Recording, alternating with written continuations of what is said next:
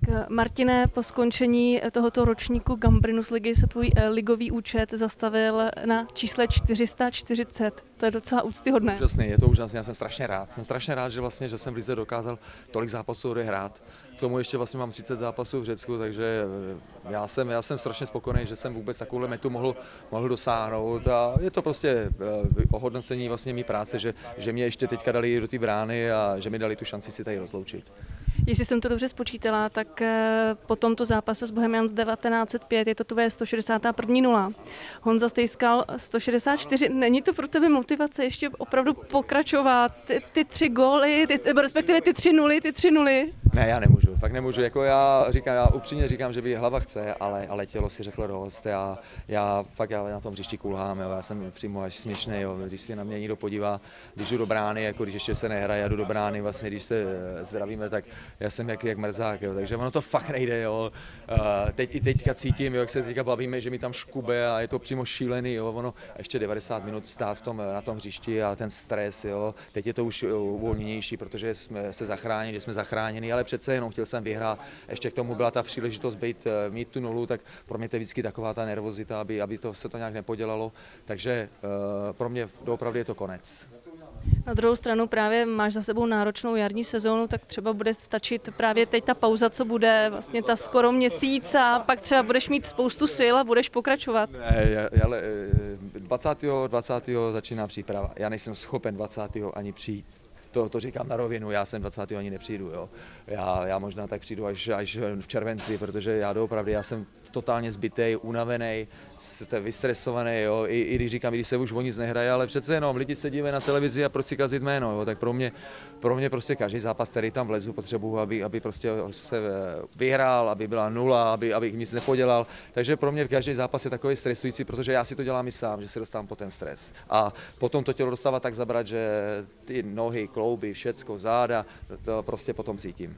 Eh, byl čas vůbec na nějaké jednání právě o tom, jestli by si ve Sláví pokračoval eventuálně na jiné pozici, třeba jako trenér mladých slavistických brankářů? Eh, já jsem zatím neměl čas, protože samozřejmě se zachraňoval klub eh, na poli, na poli na hřišti samozřejmě i na poli vedení jsem rád, že se to, že se to vlastně podařilo, takže jsem určitě nechtěl otrovat s, s něčím, když ještě ne, nebylo jasné, jestli bude budoucnost Slávě taková nebo maková.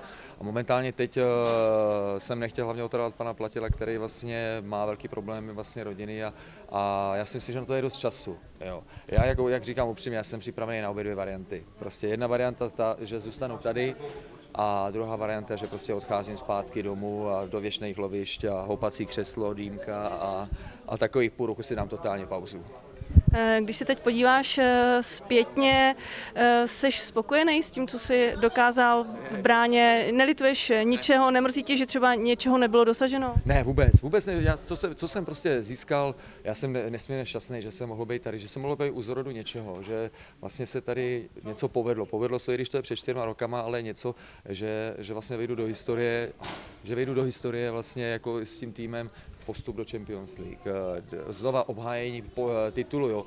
A teď strašně jsem rád za tohle, že vlastně jsem se vrátil po dvou měsících a že jsem mohl, mohl být u toho, že jsem zachránil vlastně eh, společně s klukama, vlastně, že jsme zachránili ligu. Takže já, já říkám, já když půjdu ven, tak se každému můžu podívat do očí. To byla moje vždycky filozofie a cíl. Prostě udělat všecko, abych, abych eh, se lidem mohl podívat do očí. A já věřím tomu, že to lidi ocenili.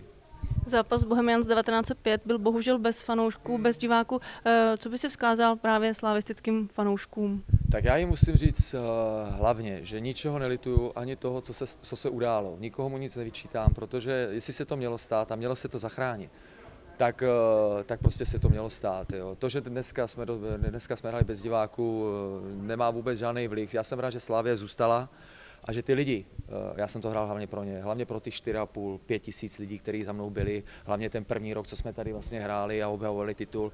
Pro mě to bylo prostě, eh, pro mě to bylo vyznamenání toho, že jsem mohl hrát před nima a, a oni, oni mi to dávali vlastně dvakrát tak tolik najevo, že prostě ta přízeň zůstala až do teďka. Takže já strašně moc děkuju a hlavně přeju, hlavně přeju těm fanouškům, aby prostě ty výkony, co byly před dvoma rokama, aby znova, znova se, eh, znova se uskutečnily.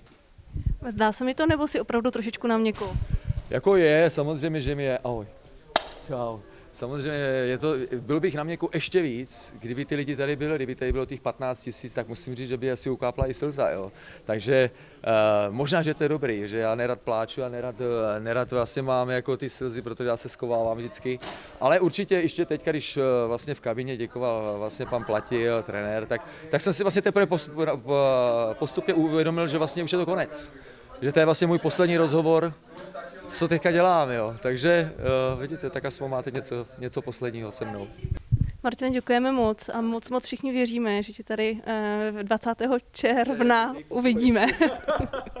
ne, děkuju. Díky. Ahoj.